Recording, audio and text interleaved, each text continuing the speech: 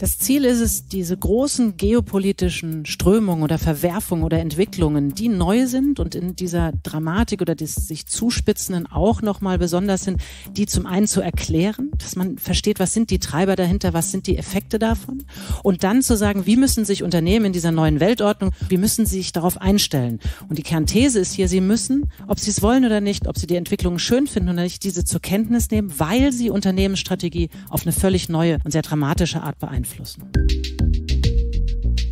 Hallo und herzlich willkommen zu einer neuen Ausgabe von Handelsblatt Disrupt, dem Podcast über neue Ideen, Disruption und die Zukunft der globalen Wirtschaft. Mein Name ist Sebastian Mattes und ich begrüße Sie wie immer ganz herzlich aus unserem Podcast-Studio hier in Düsseldorf als hätte sie es geahnt. Die Vorsitzende des Digitalrats der Bundesregierung, Katrin Suder, hat gerade ein neues Buch veröffentlicht. Es geht um das geopolitische Risiko und um die Frage, wie geopolitische Spannungen über Nacht Geschäftsmodelle und ganze Unternehmen in Gefahr bringen können. Katrin Suda, Physikerin, Ex-McKinsey-Beraterin und Ex-Staatssekretärin im Verteidigungsministerium. Nicht von ungefähr daher ihre Expertise in geopolitischen und Sicherheitsfragen mit Blick sowohl aus der Perspektive der Politik als auch aus der von Unternehmen. Was genau es bedeutet, wenn sich die Weltordnung und die europäische Sicherheitsarchitektur de facto vor unseren Augen ändert und wie sich Unternehmen und letztlich jeder Einzelne auf diese und zukünftige Risiken einstellen können und müssen, das bespreche ich jetzt mit Katrin Suda. Das Gespräch ist angesichts der aktuellen Ereignisse in der Ukraine aktueller denn je. Ich muss aber auch dazu sagen, wir haben es geführt, bevor dieser Konflikt in den letzten Tagen so massiv eskaliert ist.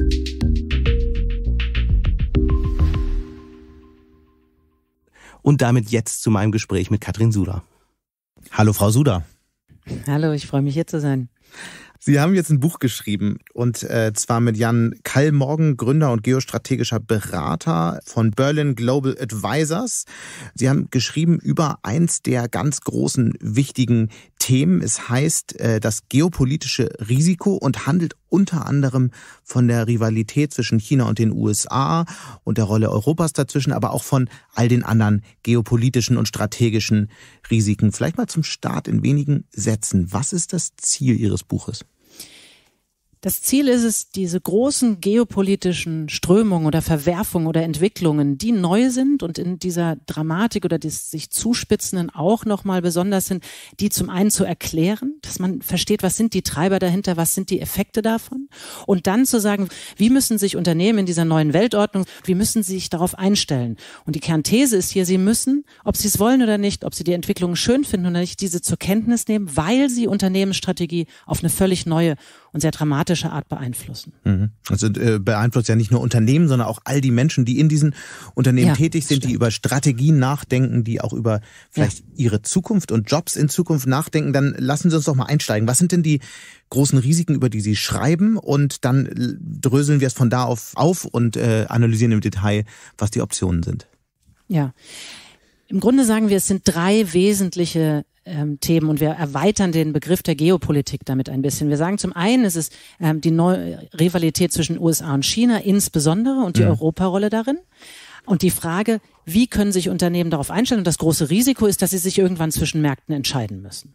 Wir haben ja unglücklicherweise gerade einen sehr aktuellen Fall, wo äh, auch die Wirtschaft durchaus äh, stark betroffen sein wird, und zwar in der ganzen Ukraine-Krise. Bis in den vergangenen Jahren war es ja genau so im Verhältnis gegenüber Russland, dass die Unternehmen gesagt haben, wir wollen möglichst in Ruhe Geschäfte machen mit Russland und eigentlich den sehr zögerlichen und abwartenden Kurs, den äh, der Bundeskanzler verfolgt, den aber auch Angela Merkel zuvor ähnlich verfolgt hat, äh, ähm, unterstützt haben. Ähm, das war im Grunde ja die Haltung der Wirtschaft. Was heißt das denn jetzt konkret für die Zukunft? Wie muss sich das ändern?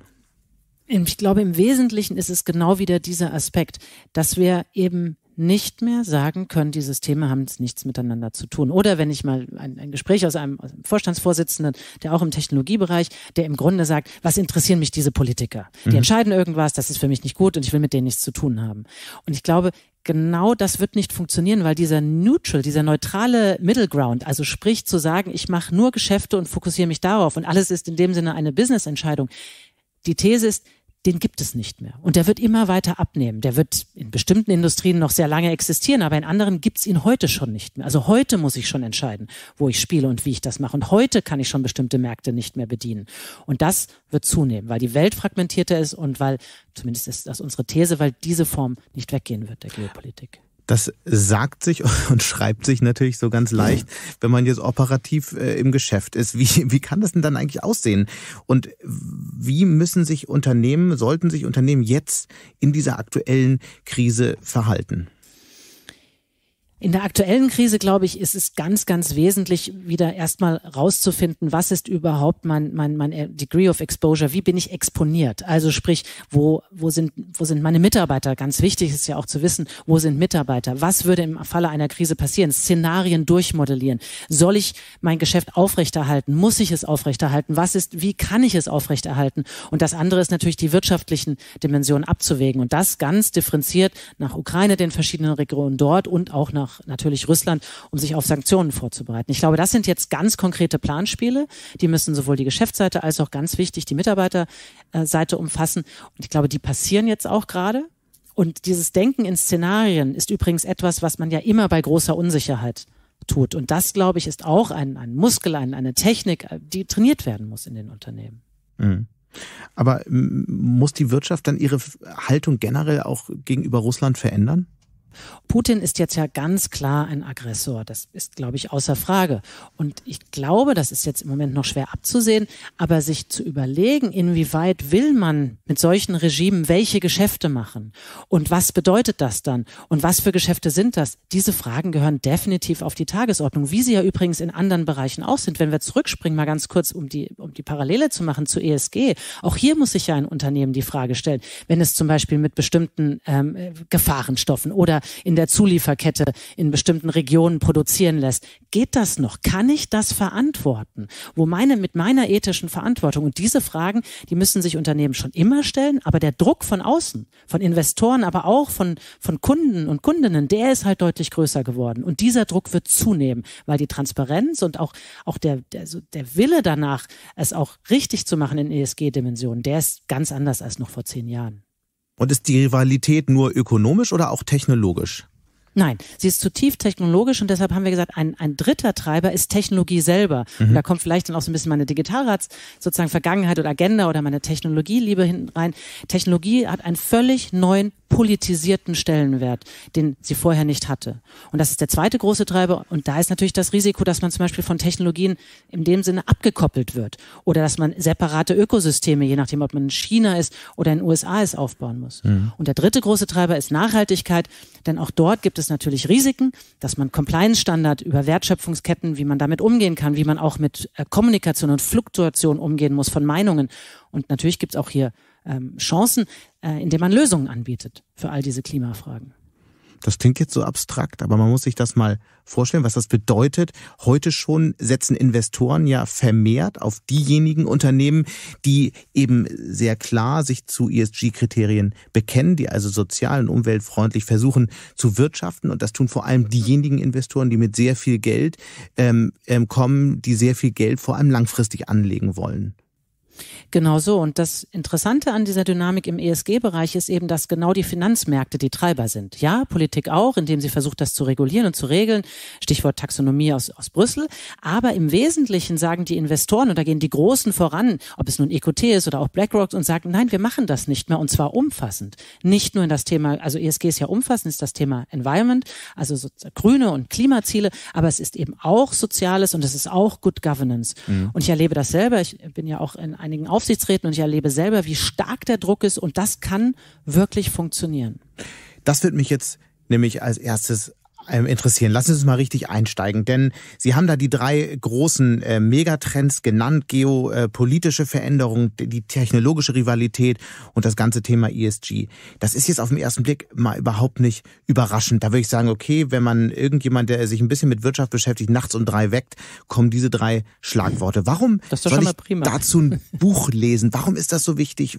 Oder sind Sie einfach aufgesprungen auf diese Themen, weil die sowieso gerade überall diskutiert werden? Jan und ich diskutieren diese Themen auch schon lange, sehr, sehr lange, im Grunde seit 15 Jahren miteinander. Und immer wieder die Frage, sind Unternehmen wirklich darauf vorbereitet und haben sie die, diese Dynamiken so im Blick, wie sie es haben müssen? Und, und unsere Antwort lautet immer noch nein, haben Aha. sie nicht. Und genau weil es so ist, haben wir das so ein bisschen, man kann auch sagen, fast von der Seele geschrieben, weil wir sagen wollten, es kann passieren, dass von heute auf morgen eure Geschäftsgrundlage ausgeknipst wird. Und da kommen wir gerade in Deutschland, und Sie wissen ja, ich war lange in der Managementberatung, Beratung. Das heißt, wir haben lange um Effizienzen gekämpft, uns global ökonomisch so aufzustellen, dass wirklich aus den die letzten Prozentpunkte an, an, an Effizienz rausgeholt werden. Und plötzlich kann es sein, dass Riesenhebel, in dem ich nicht mehr ganze Märkte nicht mehr bedienen darf, in dem ich äh, mit Sanctions, also mit Sanktionen überhäuft wäre. Und das sind auf einmal Effekte, die sind zwei, dreistellig in den in den in den EBITDA-Raten. Das heißt mhm. also in, in, in den Margen. Und das kann mir mein Geschäftsmodell von heute auf morgen mit der Unterschrift eines Politikers quasi zunichte machen. Lassen Sie uns da mal ein Stück weit konkreter werden, dass man sich das vorstellen kann. Was muss passieren, damit die Geschäftsgrundlage von Unternehmen von heute auf morgen verschwindet? Ja, wenn wir wenn ich mal das Thema Technologie nehme, denn dort ist es wahrscheinlich am, am, am klarsten. Wir haben ja gesehen, den großen Streit, und das haben Sie ja auch sehr verfolgt, ähm, ist das Thema Huawei und Zugang mhm. zu Technologien. Und es ist jetzt so nicht gekommen, aber wenn die USA zum Beispiel gesagt hätte, ihr dürft Beispiel Deutsche Telekom. Ihr dürft Huawei so nicht mehr verwenden als Technologie. Ansonsten, was weiß ich, knipsen wir euch T-Mobile US aus. Und das, den Hebel, der wäre ja theoretisch möglich. Soweit ist es nicht gekommen. Da gibt's auch viele Argumente für, da wurde auch gut argumentiert. Aber das war ja eine Zeit lang im Raum. Und umgekehrt ist es so, dass ja die USA bestimmten Unternehmen nicht mehr erlauben, Technologie an chinesische Unternehmen zu liefern. Und wenn sie jetzt da mittendrin sind in dem Spiel, dann fällt ihnen zum Beispiel der ganze chinesische Markt weg. Und der ist, und das ist ja genau der, der Konflikt, den, den viele deutsche Unternehmen haben, der ist so zentral für diese Unternehmen. Und wenn wir uns entscheiden müssten zwischen dem einen oder anderen, dann gehen zweistellige Umsatzraten mhm. einfach weg von heute auf morgen. Wie kann ich mich denn als Unternehmen überhaupt auf sowas einstellen? Es, wir hören zum Beispiel immer wieder, dass in den, ähm, in den äh, konzernstrategischen Abteilungen durchaus mal diskutiert wird, dass sich äh, Unternehmen, die sehr vom Außenhandel mit China und den USA gleichzeitig abhängig sind, durchaus schon überlegen, ob sie sich aufspalten sollten. Die eine Seite hm, treibt dann Handel mit den USA, die andere richtet eher, sich eher nach China aus. Ist das äh, sicher eine, ein radikaler Weg, aber ist das einer, den auf den es dann irgendwann hinauslaufen wird? Definitiv ist das eine Option. Und ich glaube, wenn Sie fragen, was kann man als Unternehmen tun, es muss alles erstmal natürlich wie immer mit einer Lagebestimmung anfangen. Wo habe ich überhaupt welche Exponiertheit, wo hänge ich wovon ab? Und dann ist Geopolitik oder die Lage, die geografische Lage auf einmal, die geopolitische Lage ein Input in Strategiebildung. Und dann müssen alle strategischen Maßnahmen gezogen werden. Und das kann eine Partnerschaft sein, wie es ja viele deutsche Unternehmen in China auch machen oder machen müssen sowieso. Es kann aber auch sein, eine, so wie Sie sagen, eine neue Legaleinheit zu schaffen. Es kann auch sein, und das sehen wir auch, dass ganze Produktionsstätten verschoben werden. Immer mehr werden ja auch Covid-bedingt, aber eben nicht nur, Produktion aus China wieder rausverlegt, ja, auch weil die Löhne dort steigen, aber auch aus, aus geopolitischen Gesichtspunkten. Und das kann ja auch eine strategische Maßnahme sein. Mhm. Aber Sie waren ja lange bei McKinsey und können deswegen entsprechend sehr gut rechnen. Dann müssten Sie ja auch wissen, dass wenn, wenn wir jetzt die Produktion von Dingen wie Chips, aber auch alles mögliche andere nach Europa zurückholen, äh, die Preise dramatisch steigen werden. Ist das wirtschaftlich wirklich sinnvoll, insbesondere für äh, ein Land wie Deutschland, das ja wie kaum ein anderes vom Außenhandel abhängig ist und im Grunde auch seinen ganzen Wohlstand darauf aufbaut? die Idee, dass wir sagen, wir müssen in gewisser Weise souveräner werden. Und was heißt denn souverän? Souverän heißt ja eigentlich, dass wir ähm, Entscheidungen selber beeinflussen können und insbesondere in Krisenzeiten nicht erpressbar sind. Das bedeutet mhm. für mich Souveränität, Wahlfreiheit zu haben. Und echte Wahlfreiheit habe ich nur, wenn ich nicht erpressbar bin. Gucken wir uns jetzt die, die globale Halbleiterlandschaft an, ist Europa eindeutig hinten dran. Und, und das ist mir wichtig, nicht nur in der Produktion, also im Manufacturing, sondern vor allem auch, was auch die, das ganze Ökosystem anbelangt. Und in ein solches Ökosystem rund zum Beispiel auf ähm, das, das Internet of Things oder das Industrial Internet of Things, darüber sprachen wir auch, also die große Bedeutung des B2B-Geschäftes, des Maschinenbau, alles, was da ist. Und da rein zu investieren und zu überlegen, wie können wir denn die zukünftigen auch Chip-Standards in diesem Bereich setzen? Und da sind wir ja auch schon sehr, sehr gut. Das ist meines Erachtens nach sowohl aus geopolitischen Gesichtspunkten als auch aus ökonomischen Gesichtspunkten durchaus mhm. eine sehr wichtige und valide Option. Ich würde das ja durchaus unterschreiben. Auf der anderen Seite ist natürlich auch die Liste mit verfehlter oder, oder gescheiterter staatlicher Industriepolitik lang und ähm, der Staat ja oft kein sonderlich guter wirtschaftlicher Akteur. Also wie kann dann eine Industriepolitik aussehen, die am Ende wirklich funktioniert? Die Politik sollte nicht den Technologiestandard vorgeben. Nein, denn wie kann sie das überhaupt? Mhm. Das kann sich ja auch durch Innovation ständig verändern und da muss ich auch mit einem Respekt dazu sagen, das findet natürlich in den, muss es auch in den Unternehmen stattfinden. Aber zu sagen, wir wollen eine bestimmte Industrie und dort in einem Ökosystem Gedanken stärken, das finde ich ist durchaus Aufgabe von Politik. In den Zeiten, wo wir eben nicht mehr danach optimieren, wie sozusagen die beste Effizienz ist, weil die Märkte offen sind, weil es ein sozusagen der Washington Konsensus mit laissez-faire ähm, noch war. Das ist ja nicht mehr der Fall und deshalb hat auch die Politik in meinen Augen übrigens analog zu Unternehmen keine Alternative, als sich dieser neuen Realität zu stellen. Was steckt eigentlich hinter der Aussage, die Sie gerade gemacht haben? Diese neue Realität ist dann eine, in der Staaten viel tiefer auch in diese Innovationsökosysteme eingreifen, sie beeinflussen und letztlich diesen Technologiewettstreit anheizen? Ja, und es würde es sogar noch weiter sagen. Also ich die, die Ordnung unserer Weltwirtschaft war ja über Jahrzehnte geprägt vom sogenannten Washington-Konsensus. Das heißt, das ist ein System, das auf Liberalisierung, Freihandel, Stabilität gesetzt hat. Da gab es Schiedsrichter, da gab es Institutionen, die berühmten multilateralen OECD, die Weltbank, IWF und so weiter. Und diese Freiheit, die hat dazu geführt, dass insbesondere deutsche und europäische Unternehmen ja wahnsinnig profitiert haben von dieser Globalisierung dieser Konsensus, den, den, gibt es so nicht mehr. Der hat sich aufgelöst. Das wurde symbolisch mit Trumps America First endgültig fühlbar sichtbar gemacht. Aber der Paradigmenwechsel, der ist länger und der ist auch größer und der hat auch gar nichts mit Trump zu tun. Das setzt beiden nahezu fort. Das ist, dass die Fragmentierung der Welt nimmt zu. Die Wirtschaft wird politisiert und da sind alle Mittel im Grunde recht und sehr strategisch. Technische Standards werden gesetzt, Regulierungen werden gesetzt, Umgang von Daten wird reguliert, Strafzölle, Exportverbote bis hin zu, und das ist auch wirklich eine wirklich neue Qualität extraterritoriale Maßnahmen. Das heißt, dass eine Regierung beschließt, Maßnahmen wirken zu lassen in einem anderen Land jenseits seines eigenen Territoriums. Und einen Punkt haben Sie vergessen, die Folge davon ist, dass alle eigentlich ein Stück ärmer werden, weil diese ja. arbeitsteilige weltweite Wirtschaft hatte ja zum Effekt, dass Produkte günstiger werden konnten, weil sich Regionen ja. auf Dinge spezialisiert haben und deswegen günstiger anbieten konnten und wir konnten günstige Vorprodukte in Europa importieren und sie weiterverarbeiten. Ja, ja, absolut. Und Sie fragten ja auch nach der Wertschöpfung. Natürlich ist das innovationshindernd, wenn ich dieses berühmte Decoupling habe. Das heißt, dass sich die USA und China und Frage ist, wo Europa hingeht, dass sie sich voneinander wegentwegen und eigene Standards setzen. Das ist definitiv nicht förderlich der Innovation. Sachen werden zweimal erfunden, Sachen sind nicht mehr kompatibel, Systeme können nicht da miteinander sprechen. Das ist auch ressourcenverschwendend.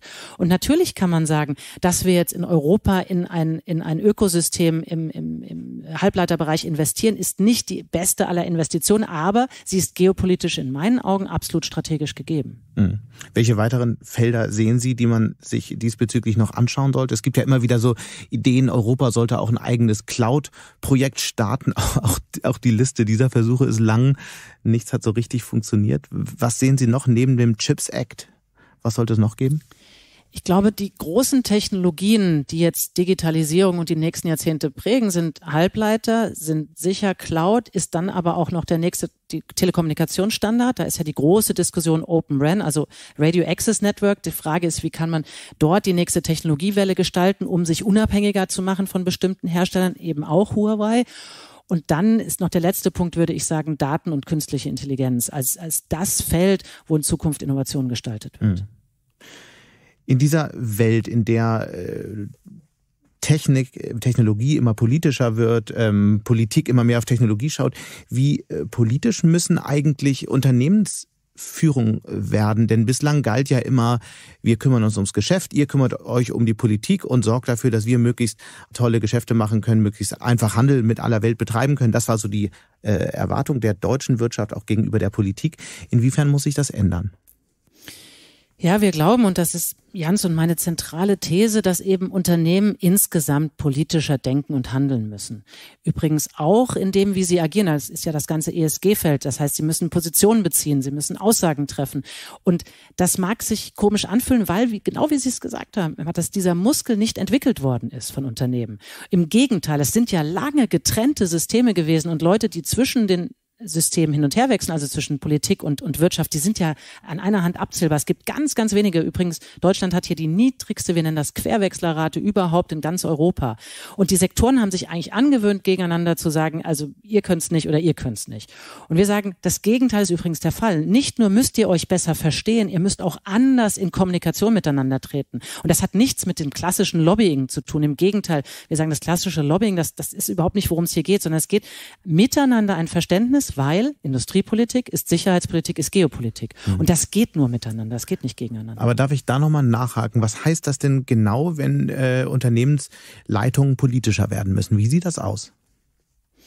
Zum einen gehören die Themen in den Vorstand auf die Agenda. Und das ist ja in vielen Unternehmen heute schon so. Das heißt, wenn ich über China spreche, spreche ich eben nicht nur darum, wie laufen die Geschäfte, wie sind sozusagen unsere Produktionskapazitäten dort, sondern dann rede ich auch darüber, welches Risiko habe ich von Sanktionen durch die USA zum Beispiel getroffen zu werden? Bin ich in einer strategisch wichtigen Industrie, entweder für China und oder für die USA. Und was heißt das dann?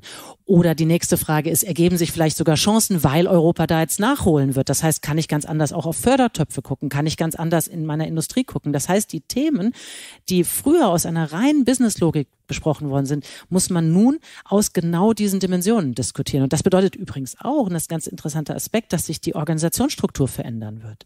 Denn bislang ist es in vielen Unternehmen so, sie haben ähm, Public oder Government Affairs, macht häufig noch klassisches Lobbyen, viel zu wenig geostrategische Diskussion. Dann haben sie eine Kommunikationsabteilung, die häufig auch auf, auf ESG-Themen guckt oder zumindest teilweise. Und dann haben sie eine Unternehmensstrategie. Und eine unserer Thesen ist es, dass diese drei, die oft direkte Abteilung beim CEO sind, dass die eigentlich zusammenwachsen müssen. Und das nicht mehr nach dem Motto, die Strategie wird gemacht, anschließend wird sie kommuniziert und lobbyiert, sondern dass umgekehrt Kommunikation und Government Affairs bereits Input geben sollten in die Strategie und sagen, hier, das sind Stakeholder, auf die du gucken musst, um beim Thema ESG zu sein. Hier sind Risiken geopolitischer Natur. So interpretiere ich gerade, was in Taiwan passiert oder und so weiter. Und dann die gemeinsam auf der Strate die Strategie entwickeln müssen. Business und, und Geopolitik zusammen. In der Theorie klingt das ja ganz einfach, aber wie sieht das in der Praxis aus?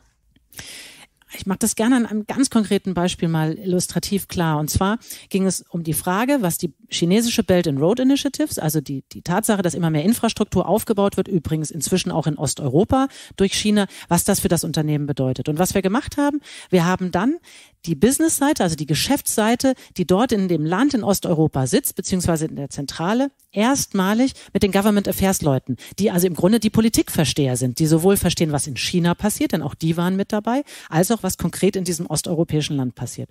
Und zum ersten Mal haben die sich miteinander ein gemeinsames Lagebild gemacht. Was heißt das eigentlich, wenn China da investiert? Was bedeutet das für unser Geschäft? Haben wir da eigentlich ein Risiko, eine Chance? Sollten wir mit den Partnern, was sollten wir ganz konkret tun? Wie ist es zu interpretieren, wenn ein Staatsoberhaupt Folgendes sagt, Beispiel ABC?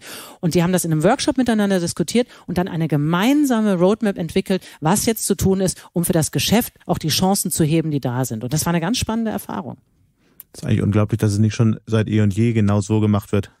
Ja, da haben Sie total recht. Und woran liegt das denn? Im Grunde das, was wir auch an anderer Stelle schon gesagt haben, weil die Seiten nicht miteinander reden, weil sie übereinander reden, vielleicht sogar übereinander lästern und sagen, ihr seid Politikversteher und ihr seid doch nur die, die mit den Dollarzeichen in den Augen, statt zu sagen, nein, miteinander können wir das Beste schaffen und übrigens sowohl dann im Sinne von Wertgenerierung als auch auf den ESG und anderen Dimensionen. Damit sehen wir eine Geopolitisierung der Unternehmen. Ja, so kann man es prima zusammenfassen. Kritiker sagen dann ja jetzt bei dieser Argumentation, okay, das mag alles sein, die Folge wird eben deutlicher Wohlstandsverlust in Deutschland auch sein, weil eben eine große Zahl von Ländern, mit denen Deutschland Geschäfte macht, weil entweder importiert oder exportiert wird, doch Länder sind, in denen eben keine demokratischen Regimes herrschen, um das mal vorsichtig auszudrücken. Naja, wenn wir Wohlstand tatsächlich nur an Umsatz und Marge messen, dann kann das durchaus sein. Ja, und dann sind das natürlich auch äh, individuelle Entscheidungen.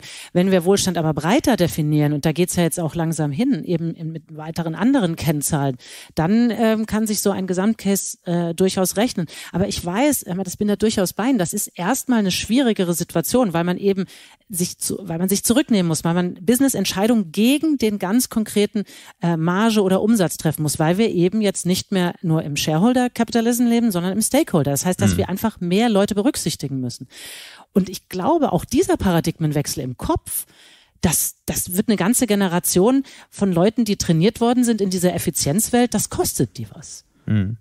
Auf der anderen Seite, ich meine, ähm, Wohlstand ist erstmal eine verhältnismäßig klare Sache. Man muss in der Lage sein, sein Leben und äh, den Alltag in irgendeiner Form finanzieren zu können.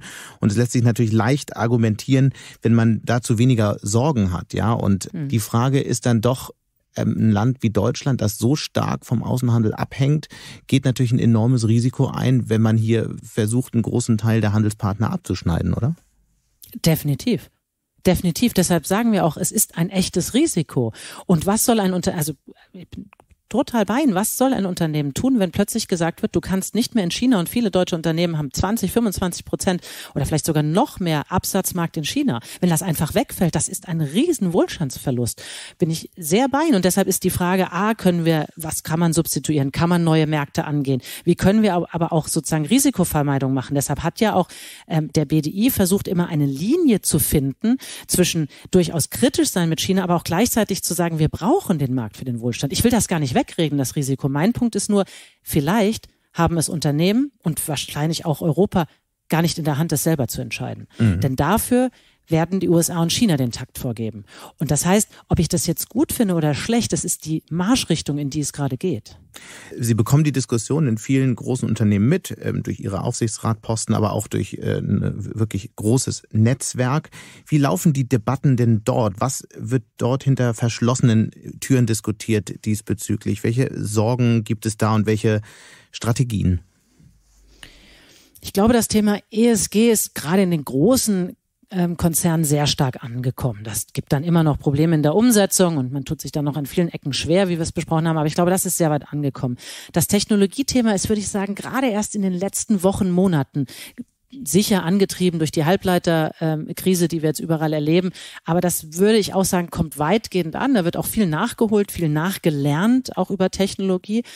Was mir noch am meisten Kummer macht, ist tatsächlich das politische Thema, weil es weil Manager einfach eine Tendenz haben, Politik nicht zu verstehen und auch im Zweifel gar nicht so sehr, so sehr wahr und ernst zu nehmen. Und das würde ich sagen, ist, ist der Punkt, wo am meisten nachgeholt werden muss, ohne dabei in so eine die, die verstehen es alle nicht, Haltung gegenüber der Politik zu kommen, mhm. die ja hier sehr weit verbreitet ist, sondern eher in eine, wir müssen es miteinander machen, um Wohlstandsverlust zu vermeiden. Und dazu gehört übrigens ganz, ganz viel erklären, denn die Themen sind ja kompliziert.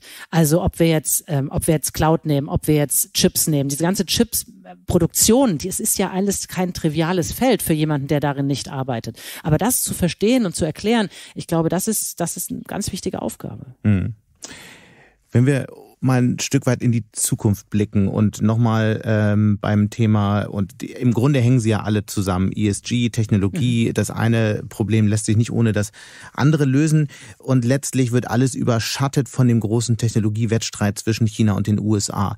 Wie kann denn eigentlich oder auf welchen Feldern kann denn Europa in den nächsten Jahren wirklich eine Rolle spielen, das nicht ohnehin schon von den USA oder China dominiert wird? Gibt es sowas wie einen europäischen USP irgendein Feld, das kein anderer so gut beherrschen wird wie Europa? Ja, ich glaube durchaus. Und da sollten wir auch sehr selbstbewusst sein. Und ich sehe es eigentlich in zwei Feldern. Das eine ist das ganze Thema B2B, also ähm, Business-to-Business-Geschäft. Denn der, der Business-to-Consumer, den haben wir im Wesentlichen, glaube ich, verloren an die großen amerikanischen Plattformen. Nicht alles, und das gibt auch gute Beispiele hier, aber ich glaube, der Kampf, der jetzt der nächste Wettstreit um die nächste Vorherrschaft wird, in diesem B2B-Feld sein. Dazu gehört zum Beispiel das, womit Sie sich auch viel beschäftigen, Industrie 4.0, Industrial IoT. Hier mhm. sind die Standards noch nicht gesetzt, hier sind die Lösungen noch nicht gefunden. Wir reden zwar schon lange davon, aber sie sind noch nicht da. Oder mal ganz plastisch ausgedrückt, Hardware und Software müssen zusammenwachsen. Warum glaube ich, dass wir da einen USP haben? Wir sind nach wie vor auf der Maschinenbau, auf der Hardware-Seite wirklich führend weltweit. Wir beherrschen die einfach wie keine andere Region. Und wenn wir das zusammenbringen mit Software-Know-how, von dem wir ja bei weitem auch genug haben, hier sollten wir uns auch nicht immer so schlecht reden, wir haben eine Menge gutes Software-Know-how. Und wenn wir das zusammenbringen, dann werden wir die Lösung der Zukunft gestalten. Und diese Lösung, das bringt mich dann auch zum zweiten Bereich, werden gebraucht, und zwar im klassischen Maschinenbau, rund um auch, auch im Automobilindustrie, aber eben auch diese ganzen Technologien, die wir brauchen werden, um Gebäude zu sanieren oder um, ähm, um andere Klimaziele zu erreichen in anderen Sektoren. Das ist ein Zukunftsfeld, das ist ein Technologiefeld, was wir von der Physik her kommen, beherrschen und damit auch neue Lösungen finden können. Und da glaube ich fest dran. Zur Ehrlichkeit gehört aber auch, dass natürlich die Daten alle auf Plattformen zusammenlaufen, die nicht von europäischen Unternehmen entwickelt und angeboten werden und dass auf diesen Plattformen ähm, Dienste laufen, die diese Daten verarbeiten und das ist eben die Software, über die wir gerade sprachen, die kann aus Europa kommen, die kommt aber auch immer öfter eben nicht aus Europa. Ist es wirklich so selbstverständlich, dass Europa den Durchmarsch in dem Feld hat? Oder werden nicht am Ende doch wieder die großen äh, Plattformanbieter hier das Rennen machen? Ja, also sicher ist es natürlich auf keinen Fall, aber ähm, ich lasse mir meinen Optimismus dennoch nicht nehmen, aber vielleicht zwei, zwei Aspekte inhaltlicher Natur dazu. Das eine ist, sie werden natürlich am Ende doch auch die Hardware brauchen. Und da ist der Kampf halt offen. Wird es also sein, dass das autonome Fahren mit dem Auto verknüpft dann doch von Alphabet kommt oder schaffen es unsere Autobauer hier? Und ich habe immer noch das Gefühl, die Hardware zu beherrschen ist nicht trivial. Das sehen wir ja auch, wie schwer sich die Chinesen zum Beispiel auch mit Luftzeugen und anderen ähm, mhm. äh, Dimensionen der Hardware tun. Das eine Argument ist, glaube ich, also unser Verständnis der Hardware ist, glaube ich, noch überlegen. Wir müssen es mit einem modernen Softwareverständnis zusammenbringen. Und das ist eine Riesenmanagementaufgabe, eine Riesenaufgabe in all diesen ähm, Unternehmen und Industrien. Der zweite Punkt ähm, zur, zur Cloud und, und zur Software. Ich gebe Ihnen absolut recht. Heute sind die Geschäftsmodelle der großen Plattformbetreiber vertikal integriert. Das heißt, sie bieten sowohl ähm, Verarbeitungs-Computing-Power an, also simpel, dass man Rechenleistung auf der Cloud, aber eben die Werkzeuge, also Plattform as a Service oben drüber, ja sogar Software as a Service, das heißt über, den, über den Stack integriert. Und das ist eine Gefahr. Das ist nämlich eine Gefahr, dass dann tatsächlich dort auch Lösungen generiert werden, dass Daten vielleicht ganz anders benutzt werden, dass Abhängigkeiten da sind. Die ist aber nicht Gott gegeben. Mhm. Das ähm, heißt ja nicht, dass man wieder auch dort eine Entkopplung ähm, durchführen kann. Das heißt, dass man eigene, vielleicht auch Open Source Werkzeuge verwendet auf den existierenden, dann wieder horizontal entkoppelten Computing Layern. Und man muss das Computing nicht nachbauen, auf gar keinen Fall, weil man kann es entkoppeln und dann sind wir aus der Abhängigkeit wieder ein Stück weit befreit. Sie haben gerade gesagt, das ist eine große Managementaufgabe, ist ja auch eine politische Managementaufgabe. Was wären denn so zwei, drei Dinge, die die neue Bundesregierung jetzt angehen kann, um in dem Feld wirklich die Rolle zu spielen, ähm, die, die Deutschland durchaus spielen kann? Also ich glaube, mein wichtigster Wunsch, weil alle Veränderung geht immer von Menschen aus. Und deshalb ist mein wichtigster Wunsch, fortzufahren mit einer Politik, wie wir es jetzt ja in ersten Schritten sehen, dass Miteinanderredens, nicht übereinanderredens, sich Expertise zu holen, wo man sie nicht hat, auch mal Leute von außen zu holen. Und das haben wir jetzt eine Menge auch gesehen, auch, auch mutige Schritte, um so, weil nur am Ende sind es Menschen, die müssen Politik machen und die besten Menschen zu gewinnen und zu fördern und auch die Energie freizusetzen, die in den Ministerien oft verschlummert irgendwo, irgendwo liegt, die zu wecken. Das wünsche ich mir am allermeisten. Das ist ein mhm. neuer Politikstil. Der ist faktenbasiert, der ist expertisebasiert, der will die richtigen Lösungen finden und das, der redet nicht übereinander, sondern miteinander. Und das wäre mein wichtigster Wunsch, weil dann kann auch anderes passieren. So Leute von außen holen kann ja auch äh, verhältnismäßig viel Ärger verursachen, wie Sie ja selbst in der ja. diese ganzen Berateraffäre erlebt haben. Über Ihre Rolle in dieser Berateraffäre haben wir ja schon im letzten Podcast länger gesprochen. Es ging äh, um hohe Rechnungen, um zu hohe Rechnungen von Unternehmensberatern und Aufträge, die ohne Ausschreibung vergeben wurden. Kürzlich tauchten dazu nochmal neue Fragen und offenbar neue Unterlagen auf. War es eigentlich ein Fehler, damals so sehr auf Berater zu setzen, denen Sie letztlich auch persönlich verbunden waren? Also, das ist ja immer eine Frage der Verhältnismäßigkeit. Ähm, Berater können in Feldern, wo es keine Expertise gibt, Expertise bringen. Mhm. Und da gab es ja auch eine Menge guter Beispiele. Also ich habe gerne das erzählt, es wurde selten zitiert, wo wir eine bestimmte Technologie aus den USA nach Deutschland zur Weiterentwicklung ähm, importieren wollten. Und ähm, das Haus hat damals gesagt, prima, wir importieren die über unsere NATO-Agency in Luxemburg, das machen wir immer schon so und dann weiter nach Deutschland. Und dann hat irgendjemand die Frage gestellt, ja, warum eigentlich? Und was bedeutet das denn eigentlich steuerrechtlich? Und dann sagten alle, nein, das ist gar kein Problem. Ähm, wir machen Luxemburg nach Deutschland. Und dann haben wir gesagt, okay, jetzt beauftragen wir einen Berater, einen Wirtschafts Wirtschaftsprüfer, ein Steuerberater in diesem Falle, und haben gesagt, so prüft das doch mal. Und das weiß mehr, wie viel das gekostet hat, aber auf jeden Fall kam raus, dass wir, ich Zahl nicht mehr genau im Kopf, aber ich glaube, es waren 500 oder 600 Millionen Euro Steuern in Luxemburg hätten zahlen müssen, wenn wir es nicht direkt importieren. Da würde ich sagen, da lohnt sich dann mal so ein Berater. Hm. Es gab ja jetzt kürzlich nochmal Berichte über, ähm, wie gesagt, falsche Abrechnungen und ähm, Aufträge ohne Ausschreibung. Wann endet denn diese ganze Affäre? Oder kommt da jetzt bröckchenweise immer mehr ans Tageslicht? Ich kann Ihnen natürlich nicht sagen, wann das endet. Das geht jetzt ähm, seinen Aufbearbeitungsgang. Das betrifft inzwischen auch eine gerichtliche Aufarbeitung, was ich gut finde, denn dafür dienen ja Gerichte, dass sie sauber Recht sprechen und sich die Fakten angucken. Mhm. Allerdings das weiß ich von meinem Bruder, der ist Richter, ziehen sich solche Verfahren ja doch über Jahre. Insofern mhm. weiß ich nicht, wie lange es dauern wird. Das meiste Geld äh, für Berater gibt ja gar nicht mehr das Verteidigungsministerium aus, äh, sondern Finanz-, Innen- und Verkehrsministerium sind, sind da viel stärker aufgestellt. Äh, bei allen Ministerien zusammen, wenn ich richtig informiert bin, waren es 2020 eine knappe halbe Milliarde Euro und es wird jedes Jahr mehr. Warum brauchen Ministerien eigentlich Berater? Warum reichen die eigenen Beamten nicht mehr aus? Das ist eine sehr gute Frage. Und es geht ein bisschen zurück auf das Querwechslertum. Ich glaube, wir haben ein paar systemische Barrieren in, in, in das Politik- und Verwaltungssystem eingebaut. Zum einen dass es eigentlich gar nicht vorsieht, dass Menschen zwischen Systemen wechseln. Das hatte gute Gründe. Das hatte Gründe, also das heißt dass Wirtschaft und Verwaltung meinen Sie mit genau, dem System, ne? Mhm. Genau, dass sie eigentlich nicht hin und her wechseln. Das hatte gute Gründe, weil man wollte natürlich zum einen das Beamtentum, das lebt davon, dass man nicht wieder rausgeht, sonst lohnt sich das finanziell nicht. Man wollte aber auch keine falschen ähm, Lobby- oder Einflussfaktoren haben. Das heißt, es gab gute Gründe. Nun hat sich aber die Zeit total gewandelt. Wir sind in einer hochtechnologisierten äh, Zeit angekommen, in der sich solche solche neuen Technologien wahnsinnig schnell drehen. Nehmen Sie Krypto. Das ist ein neues Thema und den Unterschied zwischen also jetzt einem Bitcoin und einem Stablecoin, das ist etwas, das ist absolut essentiell, das zu verstehen. Das weiß aber die Menschen erst seit ein paar Jahren. Und das heißt, sie müssen sich immer wieder in neue Technologien, in alles ranrobben, um es dann zu regulieren und zu bewerten. Und dazu wäre es durchaus absolut notwendig, wenn mehr Querwechsel drin wäre. Wir bestehen mhm. heute in, in, der Verwaltung 50 Prozent Juristen, nichts gegen Juristen, die schreiben gute Gesetze, aber wenn ich Technologien bewerten muss, dann hilft es mir vielleicht, wenn ich Physiker habe oder wenn ich mehr Wirtschaftsökonomen habe, weil ich gucken muss, was bedeutet das eigentlich USA und China? Und darauf ist unser System nicht angelegt. Es ist auch nicht darauf angelegt, dass wir Leute eben mit 30, mit, sagen wir mal, mit 40, 50, wenn sie Jahre in der Wirtschaft Erfahrung haben, dann in den, in, in Verwaltung rüberholen. Das wäre aber ein Mittel. Und das ist eine ganz große systemische Barriere. Und wenn ich es noch sagen darf, die zweite, wir haben, auch das ist historisch gewachsen, uns an eine bestimmte Aufteilung sowohl das Ressortprinzip gewöhnt, das nämlich sagt, dass jedes Haus für sich alleine entscheidet. Das ist aber bei so übergreifenden Fragen einfach nicht mehr die Art, wie es funktionieren muss. Digitalisierung wird über alles übergetrieben, aber auch Klima.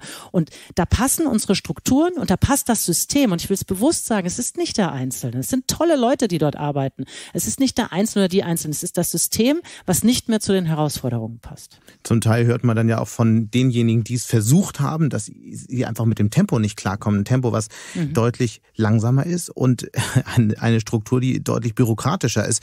Und da sagen dann doch äh, einige, die vorher vielleicht Erfahrung in Technologieunternehmen äh, gesammelt haben, da, das tue ich mir auf Dauer nicht an. Ja, da habe ich durchaus Verständnis für. Ähm, meine Antwort lautet da immer zweierlei. Das eine ist, vielleicht muss man es ja auch nicht dauerhaft machen. Mhm. Und ich kenne eine Menge Leute in meinem Umfeld, die sagen, für zwei, drei, vier Jahre mache ich das. Weil, und das ist mein zweites Argument, es ist ja unser Land. Und wenn es nicht funktioniert und wenn wir die Aufgaben nicht gelöst kriegen und es geht nachher Wohlstand verloren, dann ist es ja unser aller Problem. Dann kann ich ja nicht sagen, das hat der Wirtschaftsminister jetzt verbockt, sondern haben wir es ja als Land nicht hinbekommen. Und deshalb glaube ich schon, dass es geht und die Menschen gibt. Wir müssen es nur in saubere Bahnen regeln. Wir können ja von vornherein auch mit Transparenzregistern arbeiten und bestimmte Themenbereiche ausschließen. Sollten wir machen, kann man Transparency International dazu gewinnen und sagen, kommt, gebt uns, also kontrolliert das mit uns. Aber zu sagen, wir gehen es nicht an, weil es kompliziert ist, das kann ja keine Antwort sein. Aber wie oft haben Sie den Schritt dann am Ende bereut? Ich meine, als äh, McKinsey-Partnerin, da wäre sicherlich noch mehr drin gewesen, haben Sie vorher äh, super verdient, haben beste Kontakte in alle Unternehmen gehabt.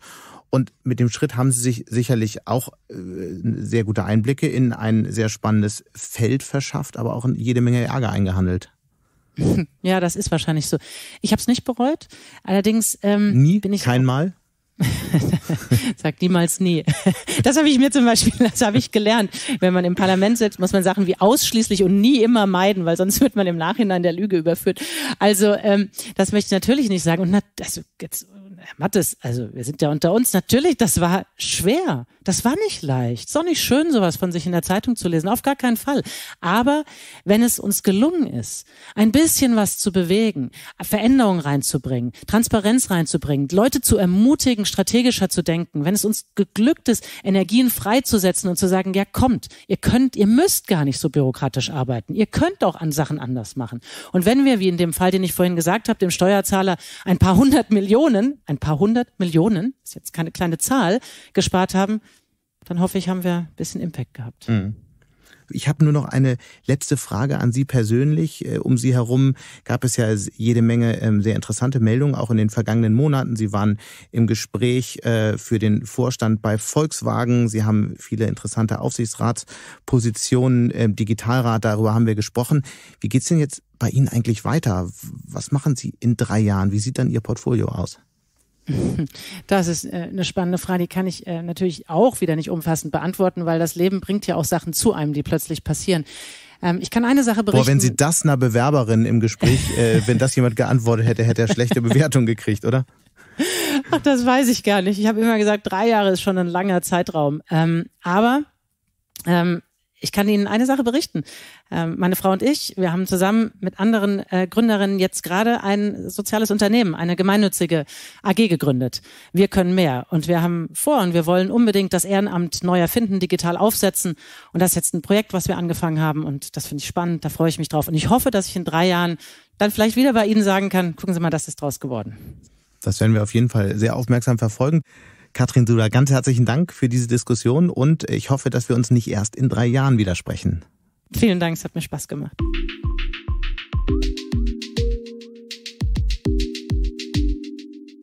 Und damit sind wir auch schon wieder am Ende von Handelsblatt Disrupt. Und wie immer freue ich mich natürlich über Kommentare in der Handelsblatt Disrupt LinkedIn-Gruppe oder senden Sie mir gerne eine Mail. Die Details finden Sie wie immer in den Show Notes.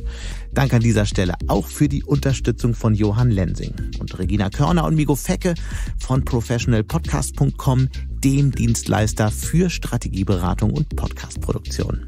Wenn Sie möchten und grundsätzlich Interesse daran haben, immer auf dem Laufenden zu sein, jederzeit alle Artikel des Handelsblatts zu lesen, Zugriff auf all unsere Recherchen und Artikel im Archiv zu haben und natürlich auch alle Podcasts zu hören, dann habe ich ein Handelsblatt Disrupt Vorteilsangebot für Sie reserviert.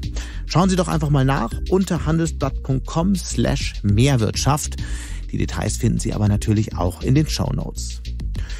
Wir hören uns dann nächste Woche Freitag wieder. Bis dahin wünsche ich Ihnen interessante digitale, aber natürlich auch analoge Zeiten. Ihr Sebastian Mattes.